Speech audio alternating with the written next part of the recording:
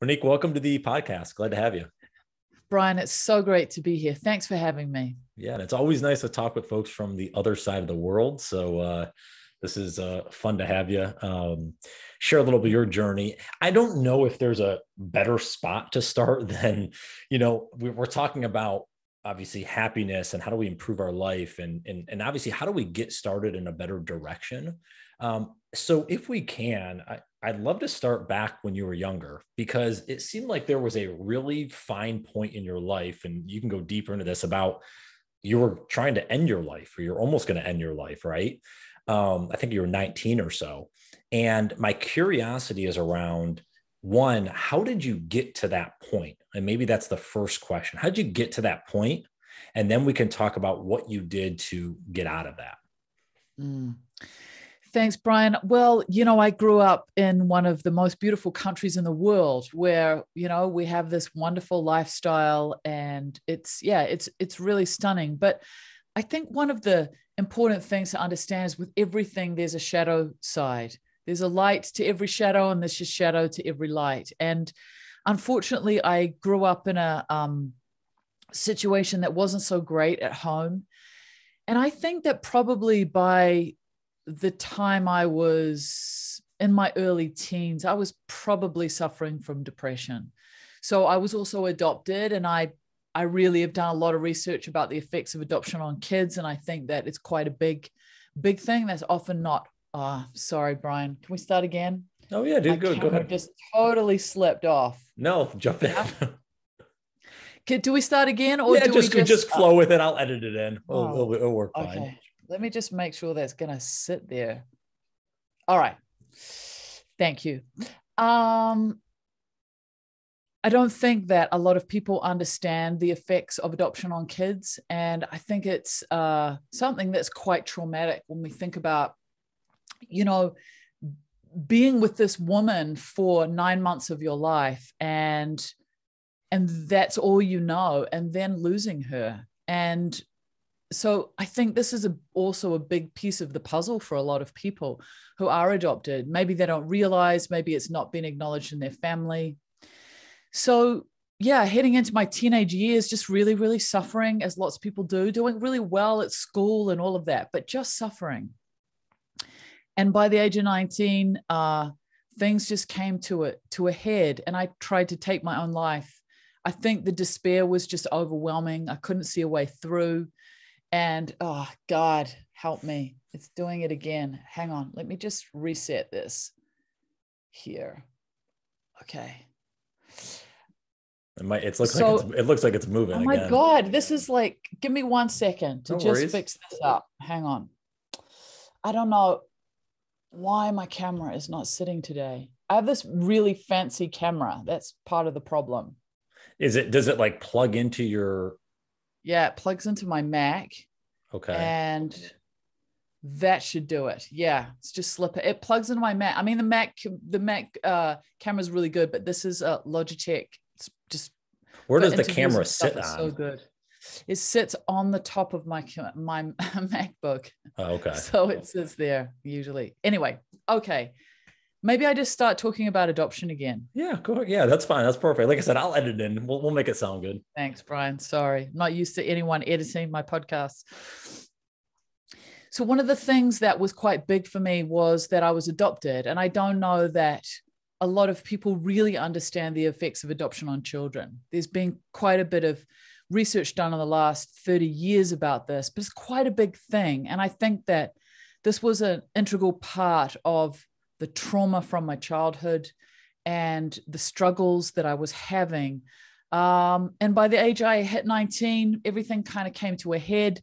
And I tried to take my own life, which was um, just from a place of deep despair, which I know lots of people, you know, understand that sadness and despair. And I was unsuccessful, thankfully. And I remember sitting in the hospital bed and really asking myself, how is it that I've got myself into this place where things are so unbelievably difficult?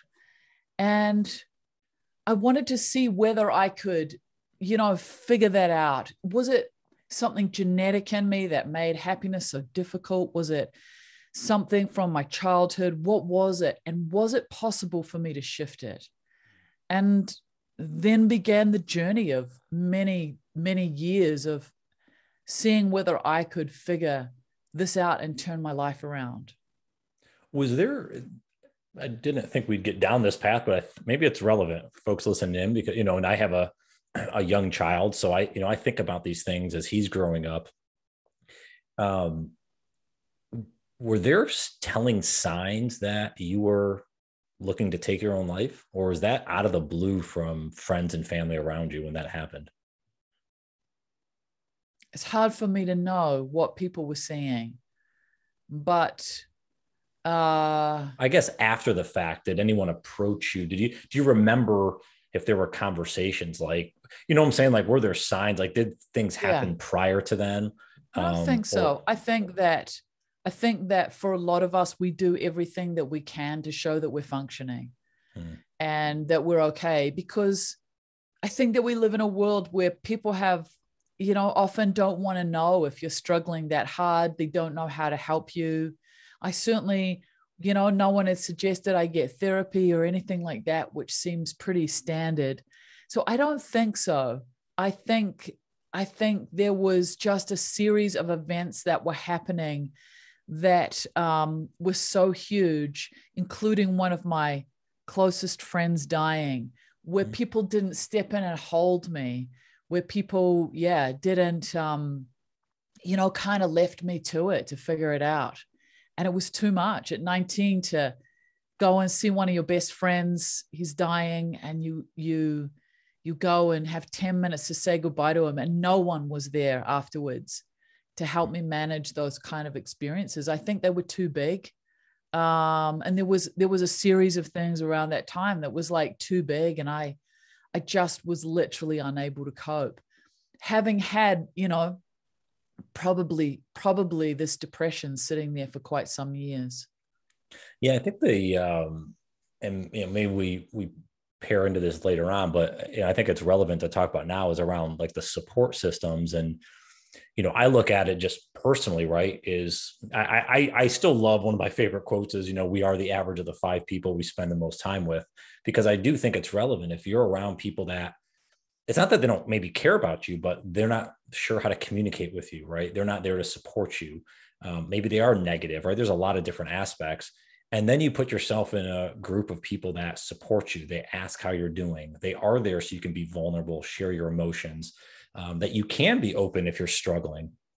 And that's way more rewarding. And I think ultimately it leads us to expose a lot of the things that are hurting us, which allows us to get past them. Versus the, you know, the former is you're hiding those things in. You don't want to show people because you think they're not going to like it. Um, that's not the best group of people to be around. So I, have kind of I kind of seen this throughout my life, and maybe you can you know share as you've gone through your journey how important getting the right team members, if you will, um, around you has been to your success in terms of when I say success, I mean in terms of getting to a place where you're happier now versus prior? I think it's a mixed thing, Brian, because I think that when you're 19, all you want to do is have fun and, you know, experience things and, you know, life doesn't appear so heavy. Mm-hmm. I think that as we get older, we begin to understand you know those kind of patterns of who stays and who goes who's good for me and who's not? But i don't think at 19 you've kind of figured that out. I think then you're sort of like you're experimenting and experiencing so much and people come and go and there's lots and lots of people. Whereas now that foundation is so important. You know there's there's five um areas in the world called the blue zones where people are living to really you know old age. Uh, they have a lot of centennians centenarians whatever you call them people who are living to 100 in mm-hmm. in these communities. And one is in okinawa in japan.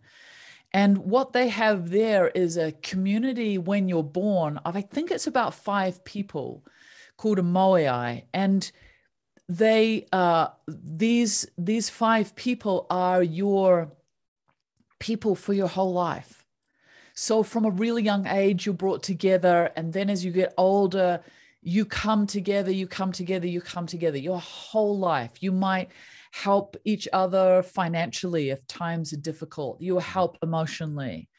And it's one of the reasons they believe that people in Okinawa are living so long. There's a mm. number of reasons in these five blue zones.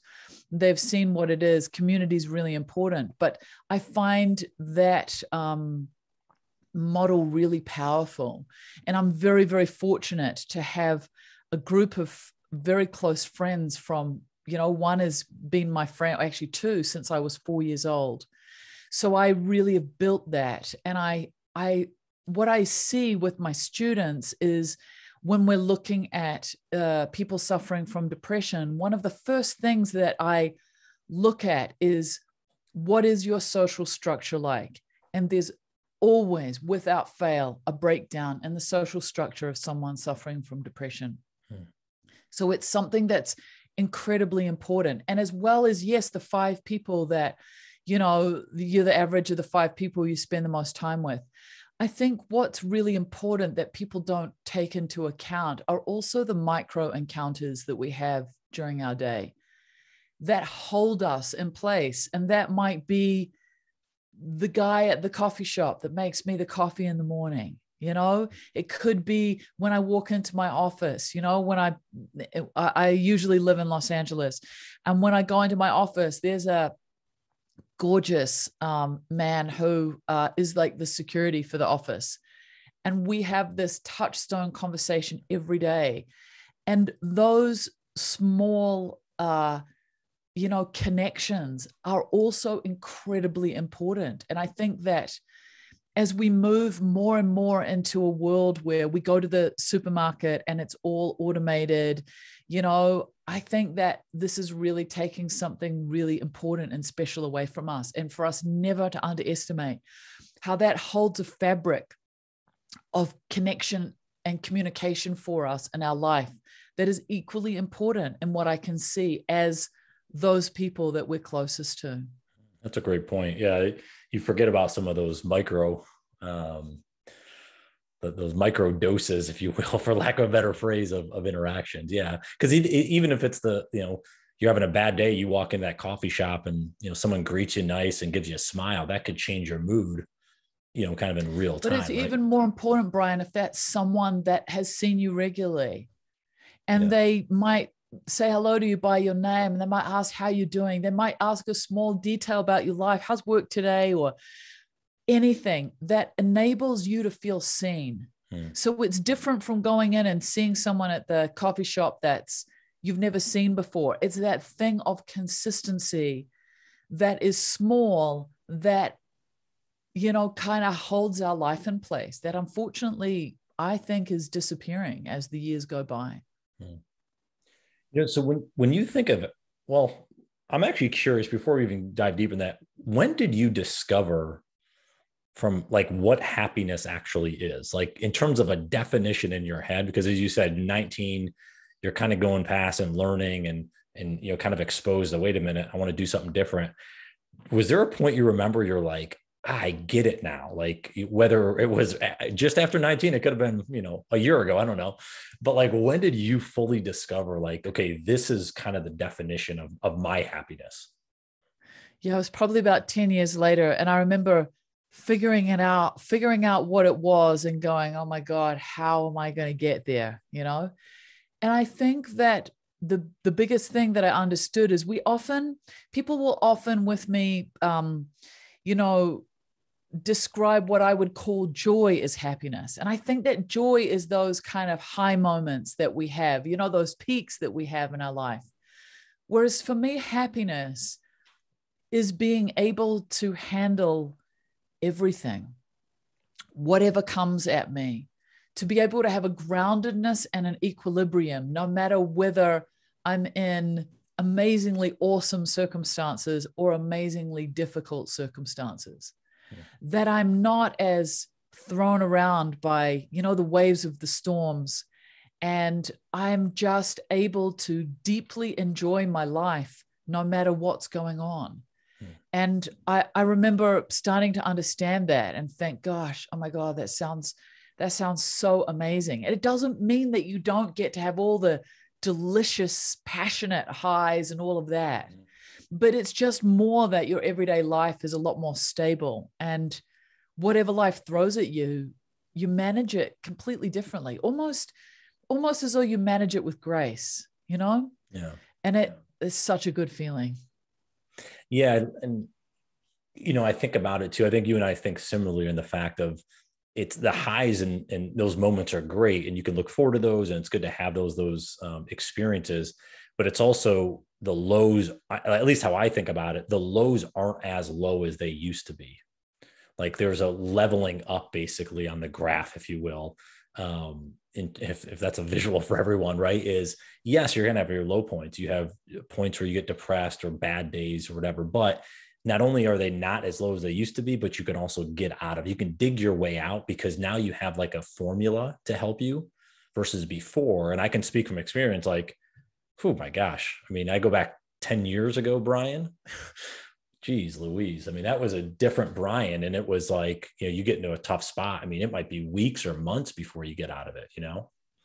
Or a girlfriend breaks up with you or yeah. something like that. That is just so completely devastating yeah. isn't it? Yeah. Yeah. You just don't know how to handle it. And I, I think and this is one of the things i liked about you know kind of research and prior is how important you know you talk about the mind right? It's not you can have the the fancy car you can have the nice things you can you know it makes you feel good but the reality is, if your mind is not set up properly to have that positive path forward, you're gonna you're gonna get off the path a lot quicker, um, and it might be devastating, right?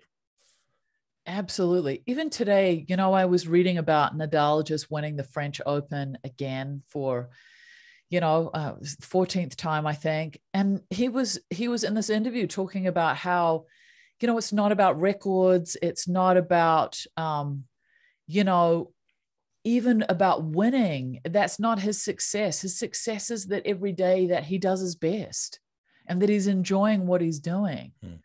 And I think that's probably why he's so successful because he's not chasing these numbers. He's not chasing these victories. He's not chasing these kind of milestones. What he's looking for is, am I happy when I'm doing this? And am I able to give the absolute best of myself in every encounter that I have on the tennis court?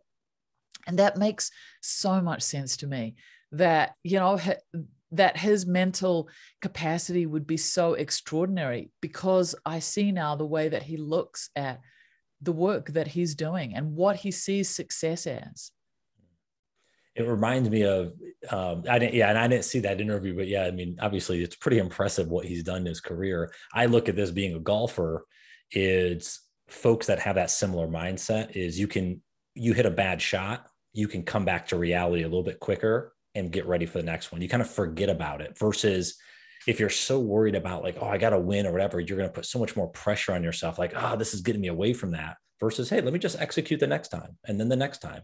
And eventually i add up the shots or you know i hit enough serves or whatever um, you know uh, metaphor you want to use and eventually i get there. And then i can look back and say wow i did it. All because that those small steps day after day you know match after match whatever it might be. But there's also something with golf brian is that one of the most important things with golf is to relax. And the more that you can relax your mind and your body, mm-hmm. having played only a little bit of golf, um, the more you're able to execute well. So it's almost counterintuitive on some levels, like that tightness actually causes you a lot of problems. And I feel that in life as well, is that the more that we can relax our way into our life, the more easily we're able to hit those winning shots. Hmm. Do you feel like you know because I, th- I think that's a good thought there because i would agree yeah and as someone that you know i used to be a PGA professional I used to teach golf so kind of you know remembering not only my own swing but working with students is like yeah the freer you are right even if you don't have a great swing things start timing up properly but you start getting really tight and try to get yourself into a position it's really hard to hit the golf ball. Would you say that's similar with you know or maybe it's a good uh, metaphor, I guess, of, of just people in general. Cause I, I see this a lot, or I've seen this in my life and I see it with, with people I've, I've been around that we put these stresses in our life. You know, we buy the big house or we have this big, you know, you know, car payment and we do all this stuff. And then we have to take a job that we don't like because it pays a certain amount so we can have these, you know what I'm saying? And instead of looking at like Nadal does of like, hey, I want to have a great day today or I want to do these things that make me happy, we almost choose a wrong path to make up for poor decisions. I don't know if that's a makes that's a good question or not, but does that make sense? Like I see this a lot. It's almost like we don't let ourselves get on the right path. Yeah, I also think Brian that we're sold a lie, you know, a really big lie, and the lie is having that house is going to make you happy. Mm-hmm. Having that car that you can't afford is going to make you happy. And all of the other things that we're led into you know, mortgaging our lives for in, in order to have, because we're told people that have these kind of things are, are powerful and they're happy.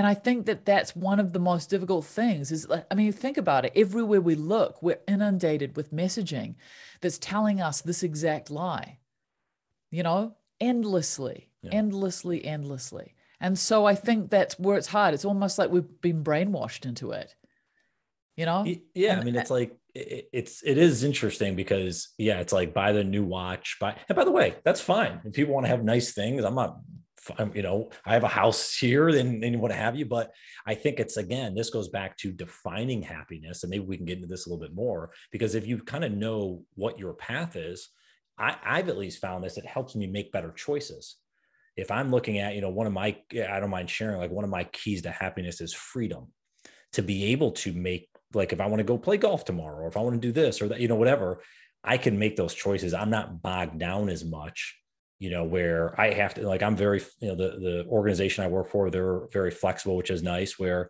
um, the the things I'm able to do with this podcast, whatever it is, but it's like I don't have. It's not like you have to be in an office chair at 9 a.m. in this, you know, right? Oh, I work remotely. Like so, there's some things I can make choices because of how I've tried to set up my life. And maybe you can agree with this, you've done similar. But how would you encourage folks that maybe have been sold a lie, have gone down that path, and now they feel stuck? What do they do? What, what are the, how do they start digging themselves out? I think the first thing to understand, Brian, is that all those wonderful things that you bought aren't actually going to make you happy. They make you happy for a moment, you know? We have that little peak you know and and then after a little while that wears off and we have to start looking for the next thing and the next thing i always call it as soon as happiness.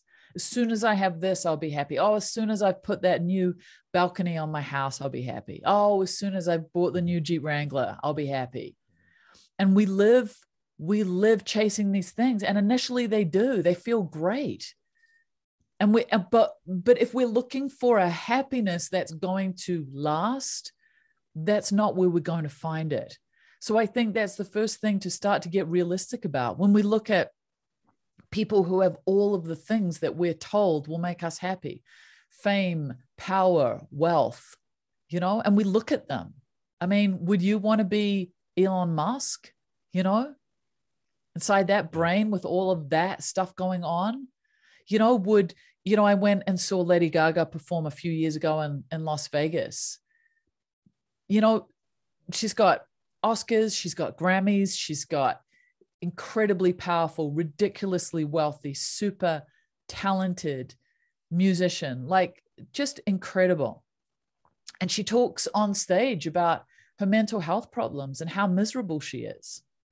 She was getting paid a million dollars a show so when we look at all those things that we're told are going to make us happy, we have to start to get a little bit realistic with it and go, well, if that was the case, wouldn't all these people who have so much money and so much power, wouldn't they be happy? But I'm looking around and seeing, yeah, that's not quite the case. I mean, even these last few weeks, you know, the celebrities in the news with all their mess and you know there's just so yeah. much messiness with all of all of the things that we're told it doesn't mean that you can't be happy with those things but those things will not actually bring you happiness yeah that's a great point i i think I, I think this is partly yeah I, I don't know how it is over you know where you're from but i know in the us a lot of it is the hey, get an entry level job, work your way up.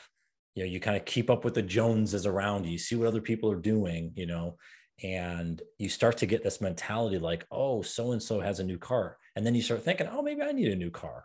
Well, again, if you don't, if you're always trying to chase, I like the as soon as thought, if you're always trying to chase, then you never actually have the opportunity to actually be happy today, right?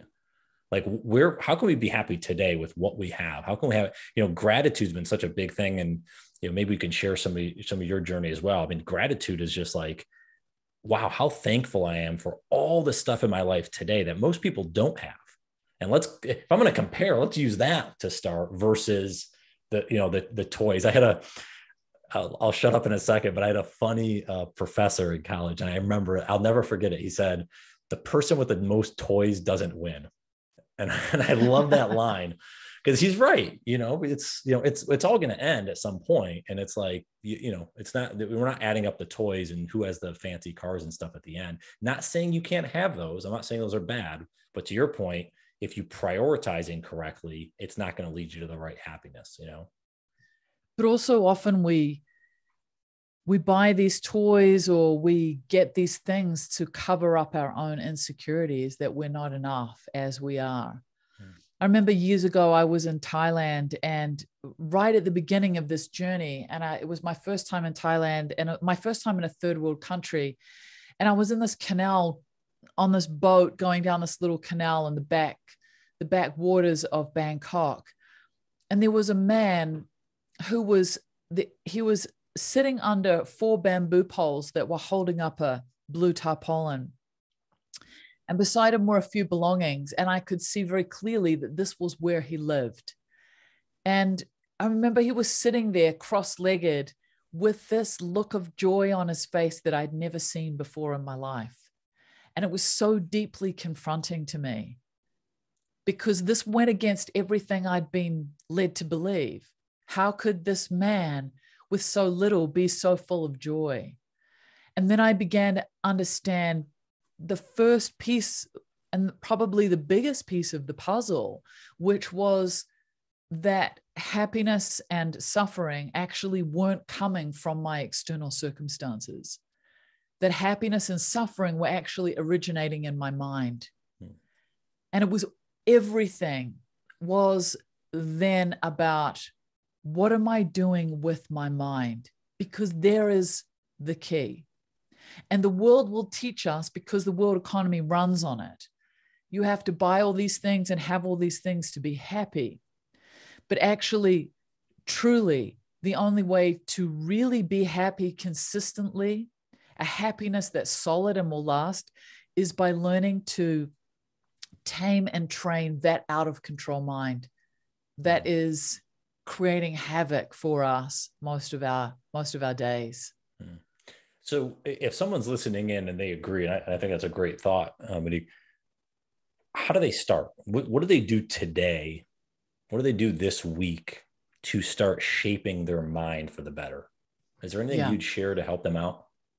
I mean, the first thing is, and I know that some people will struggle when they hear this, but I really want you to hear me out the first thing is is a meditation practice is one of the most vital things that you can have in your life and the reason is is that the only way that you can train your mind is to actually train it. And that is what meditation practice does. It's literally going to the gym for your mind. And we all know that if we don't go to the gym and we don't work out our bodies just become weaker and weaker and we get sick. It's the same with our mind. So we have to teach our mind and train it so that instead of our mind running the show, which it does, you know, sometimes I imagine it like, you know, we wake up in the morning and there's this there's this door that opens to our mind and there's this wild pony that sits outside that door and we're thrown onto it and it goes all sorts of different places and every so often it will slow down, settle down, maybe eat a little bit of grass, and then something will spook it and off it goes. And we're just literally holding on for dear life no bridle, no saddle, nothing. And that's how our lives are. But imagine if you woke up in the morning and there was a outside that door of your mind was a beautiful, you know, champion Western horse that had a beautiful bridle and saddle, and you got to lead it where you wanted it to go. That is the difference between a mind that has been trained and a mind that hasn't. So we'll always be at the mercy of our mind if we don't learn how to work with it. So everything that's happened to us in our life will have an effect on us because it's almost like a external hard drive, you know, plugged into our mm. computer. Well, all these past experiences that we've had create reactive responses. Mm. So maybe you're, you know, having a conversation with your girlfriend or boyfriend and they say something and you get that feeling of rage or you're triggered. It's not even about what they're saying, it's about what's happened in the past that's triggering a habitual response. So, understanding that due to our mind, we're actually really set up in a pattern of habits that we don't even realize, that all very subconscious. So, it's vital that through working with the mind, we start to have a conscious relationship with our mind, with our past experiences, and with ourselves. And if we can do that, we can actually start to take control of our whole life. And it's completely a game changer. I call meditation my superpower hmm. because it seems so simple, but it is such a deep, deep, powerful practice. And I know a lot of people struggle with meditation or they think, gosh, I can't meditate. You know, I, I, I can't have no thoughts. My mind's too busy to meditate. But meditation isn't about not having any thoughts, it's about learning how to work with those thoughts. So lots of thoughts are welcomed, you know? The mind naturally has lots of thoughts. You're not going to, anyone who sits there and says to you, Oh, I just meditated for the last hour and had no thoughts, is completely telling you a fantasy story, unless maybe they're the Dalai Lama, could probably do that. But for mere mortals like us, there's there's not a hope. So it's really important to understand if you're afraid of meditation because you think your mind's too busy, then I say to you, welcome, you know, bring that busy mind in and let's work with it because a busy mind is is the perfect mind to bring into a meditation practice. And does it have to be, you know, I've done both guided meditations, I've done just kind of sitting with my eyes closed. Is there a preference, do you think, or something someone should try to start? yeah, I think that you need to learn from a qualified teacher. So I think that's really important. You need to learn from someone who has a lot of experience with meditating. I think we live in a world now where, you know, there's lots of people that have gone and studied for a year or done a weekend course that are, you know, kind of teaching these guided meditations. But meditation is a, a deep process that you need to learn from someone who really understands the mind so that you can ask them questions as you go on your journey. So, I, that is the first thing that's really important. And the second thing is that it's important to understand that there's a difference between meditation and creative visualization. So, creative visualization would be more like you know, I take you somewhere by a stream and I want you to relax. That's meditative and relaxing, but it's not actually learning the practice of meditation. And the practice of meditation, in its essence, is teaching you how to bring your mind back into the present moment.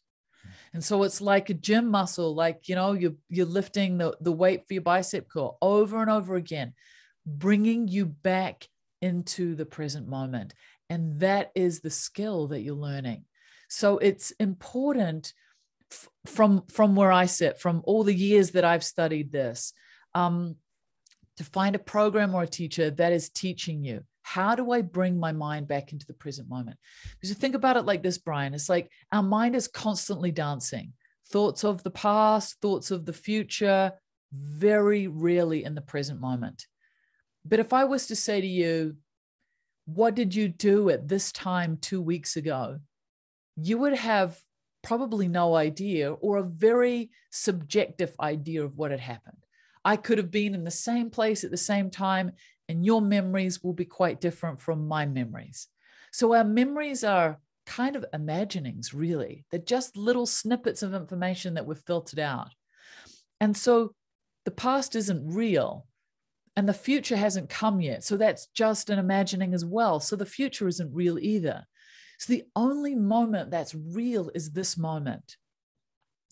And if I can teach you how to bring your mind slowly but surely, more consistently into the present moment, your stress and your anxiety starts to dissolve because the stress and anxiety is driven by not being here, by dancing into worries about the future, concerns about the past.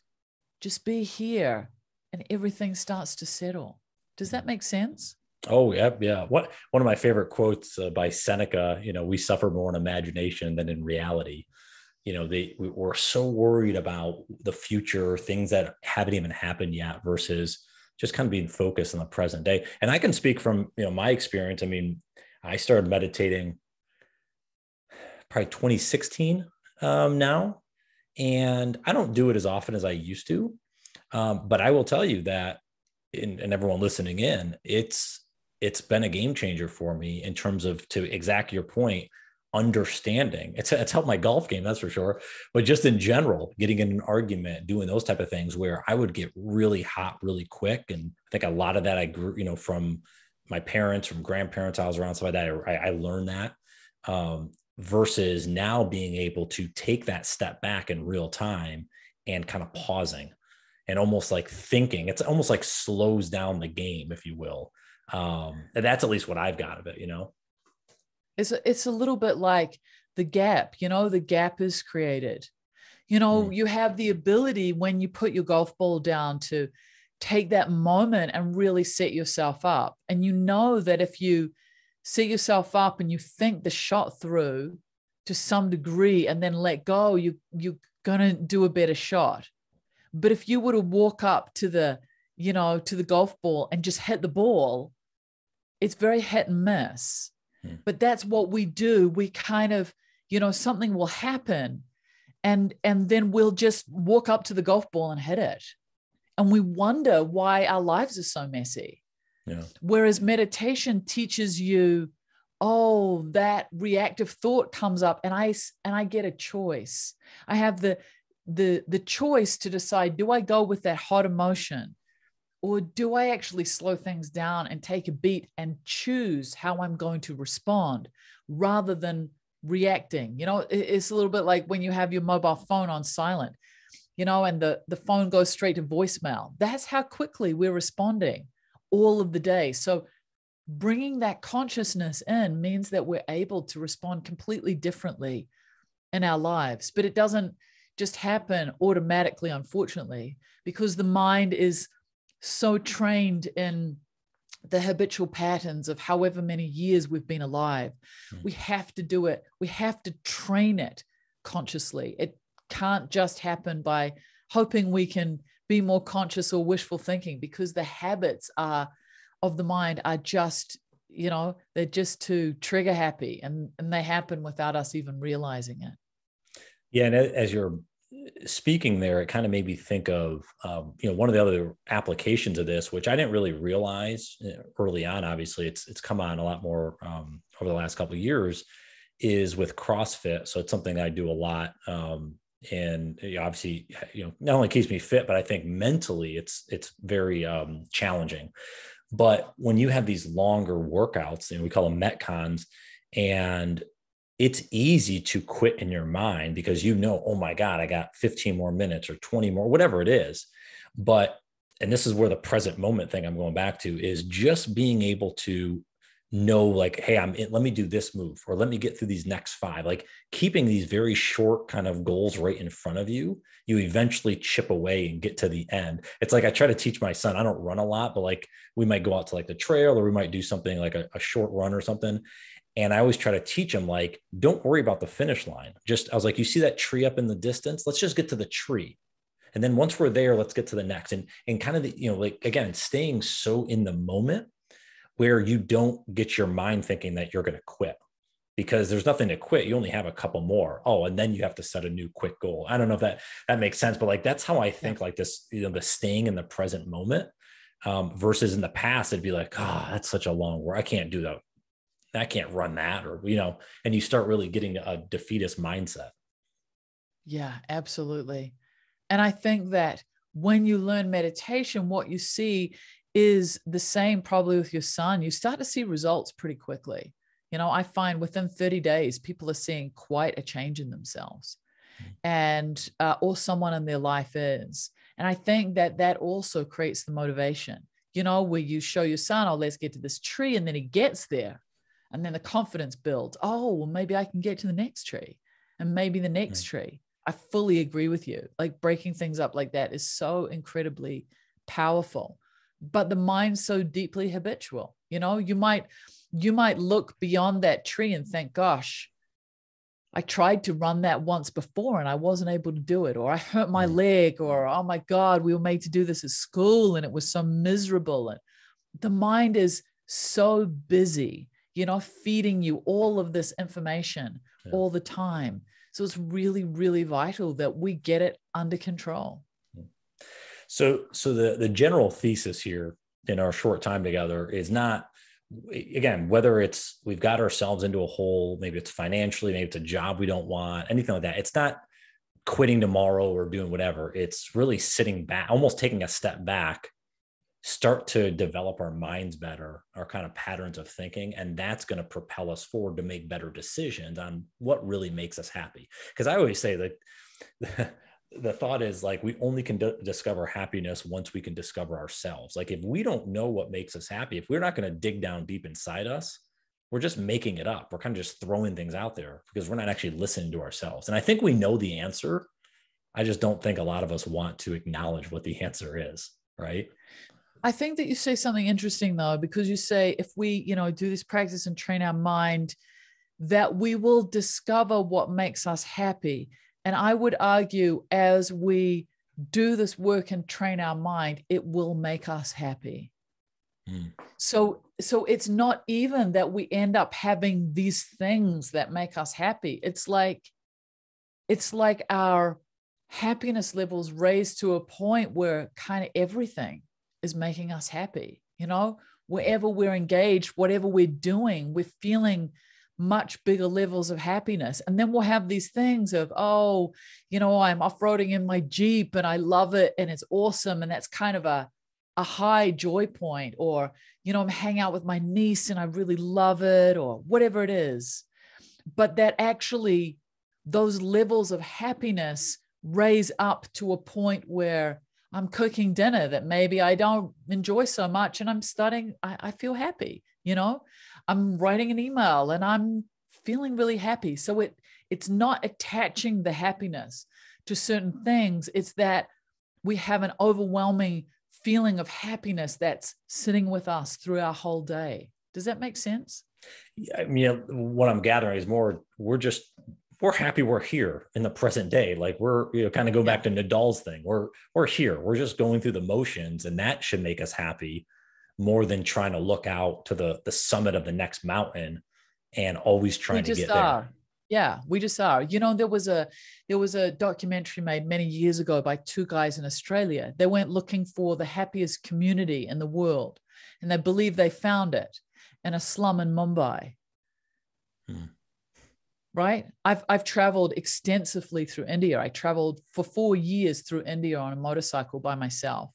And i saw levels of mental wellness that far exceeded anything i saw in the consumeristic west. So it's really important for us to to understand that you know it's about it's about life can be really happy no matter if you're in a slum in mumbai or you're nadal it all depends on your mind and the responses that your mind is having. Mm. There's a great story I was told many years ago by a beautiful uh, um, Tibetan Buddhist Lama who was taken into uh, prison when the China invaded Tibet. He was in prison for 21 years. And he told me the story about how he went into this prison cell and there was another guy in the cell with him that were cellmates of course very quickly they became best friends. And this tibetan buddhist lama was you know he was a master of meditation. He was one of the great masters in tibet at the time.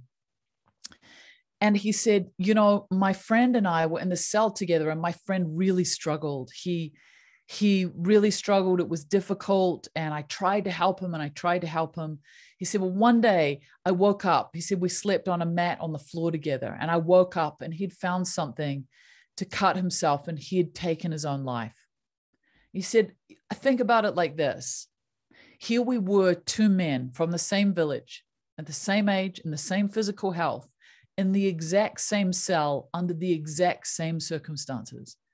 And one of us suffered so much that they took their own life, and the other didn't suffer at all. And the only difference between the two of us was that one of us had trained their mind and the other hadn't.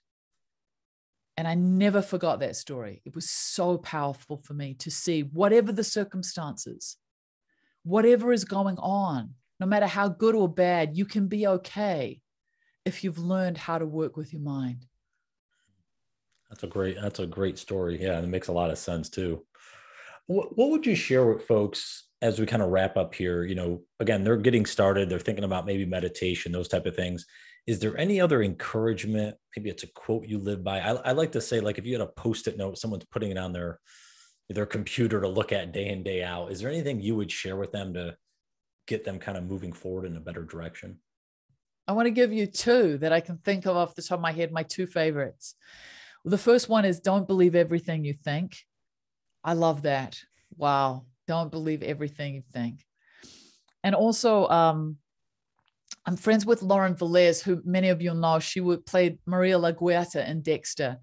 And uh, she she was in a play some years ago that I went to see in LA. And there was a line from that play that I absolutely loved. I can't remember the name of the play, but the line was if you're eating a shit sandwich the chances are you made it. Mm. And I love that, right? Yeah. We are responsible for ourselves. And I think that's one of the most difficult things for us to understand. If we're in a bad situation, somehow we've created it, but equally we can create our way out of it. Yeah.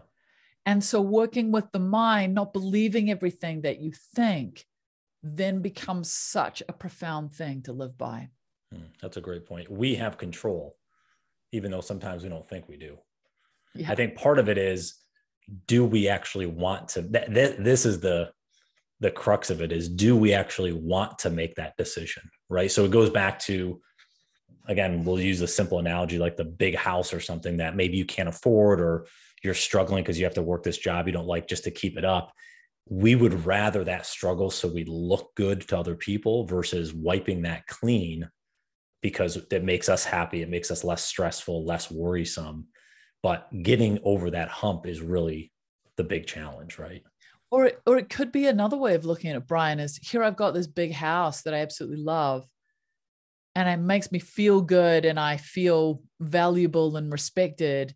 And I'm working this job that I can't stand on one level to understand that their house is never going to give you the happiness you're looking for and that if I take deep self responsibility for myself, I may say, well, I can't do this house anymore. Or I may say, I need to completely change my job. I need to mm-hmm. find, yep. I need to take responsibility for this work that I'm not happy in and see whether I can find something making the same amount of money to afford this house until I figure out it won't make me happy.